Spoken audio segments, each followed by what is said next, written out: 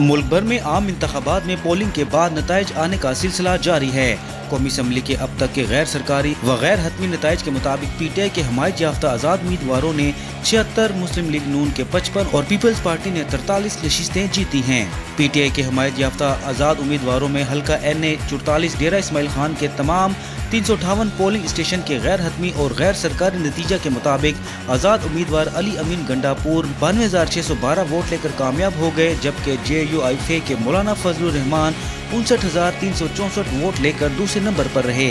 N A तीन सौ आठ के तमाम तीन सौ नौ पोलिंग स्टेशन के मुकम्मल गैर सरकारी व गैर हतमी नतज के मुताबिक पी टी आई के हमायत याफ्ता आज़ाद उम्मीदवार सलीम रहमान इक्यासी हज़ार चार सौ ग्यारह वोट लेकर कामयाब करार पाए, जबकि मुस्लिम लीग नून के वाजिद अली खान सत्ताईस हज़ार आठ सौ इकसठ वोट लेकर दूसरे नंबर पर रहे।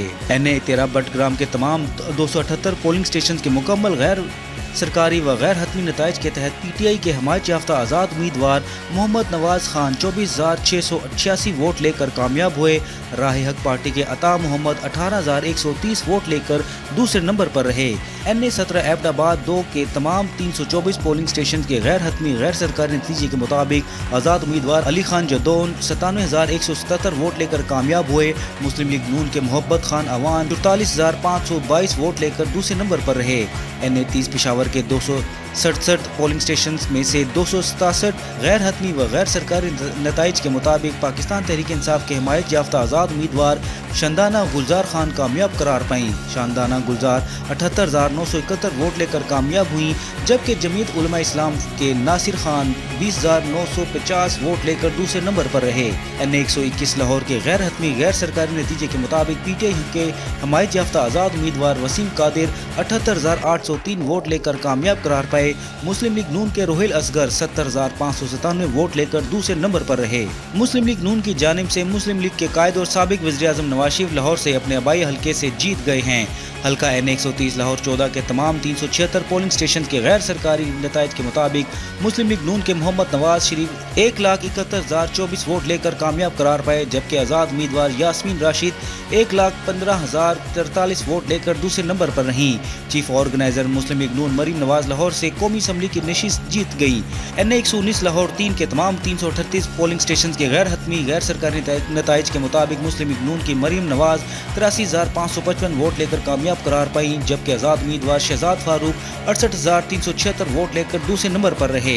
लोधरा से इलाका में पाकिस्तान पार्टी के सरबराह जहांगीर तरीन को शिकस्त हो गई। एन एक सौ पचपन लोधरा दो के तमाम तीन सौ उनहत्तर पोलिंग स्टेशन के नतज के मुताबिक मुस्लिम लीग नून के सदीक खान बलोच एक लाख सत्रह हज़ार छह सौ वोट लेकर कामयाब हो गए जबकि इस्तक में पाकिस्तान पार्टी के जहांगीर तरीन इकहत्तर हज़ार एक सौ अट्ठाईस वोट लेकर दूसरे नंबर पर है।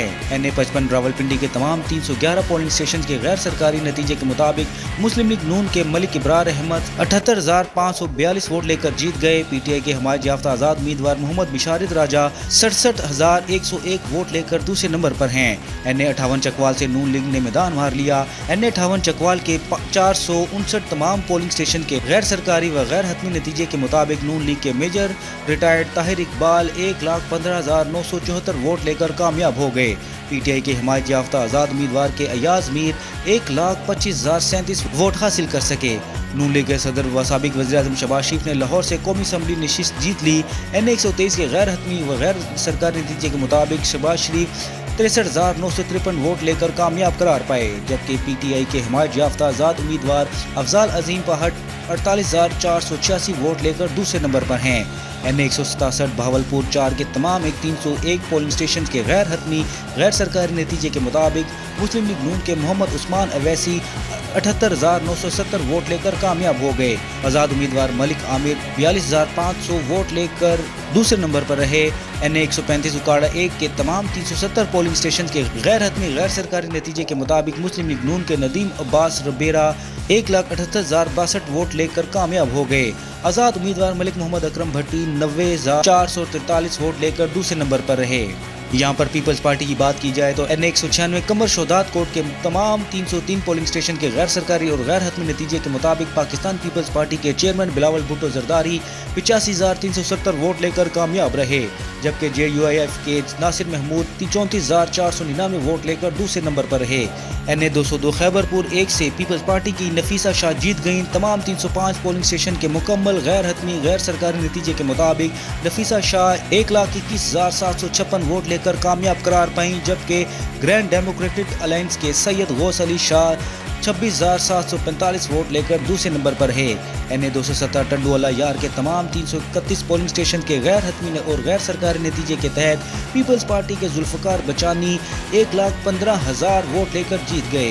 ग्रैंड डेमोक्रेटिक अलायंस की राहिला मगजी उनहत्तर हज़ार नौ सौ वोट लेकर दूसरे नंबर पर है। एन ए एक सौ निन्यानवे घोट की दो के तमाम तीन सौ पैंसठ पोलिंग स्टेशन के गैर हतमी और गैर सरकारी नतीजे के मुताबिक एक लाख चौवन हज़ार आठ सौ बत्तीस वोट लेकर कामयाब हो गए। जे यू एफ़ के अब्दुल कयूम चालीस हज़ार दो सौ चार वोट लेकर दूसरे नंबर पर रहे। आपको यहाँ पे बताते चले कि आम इंतबात के लिए पोलिंग का अमल कल सुबह आठ बजे से शाम पाँच बजे तक जारी रहा और करोड़ों अफराद ने अपना हक राय दही इस्तेमाल किया। मुल्क भर में मोबाइल फ़ोन और इंटरनेट सर्विस बंद रही, जिसके बायस उम्मीदवारों और वोटर्स को मुश्किल का सामना रहा।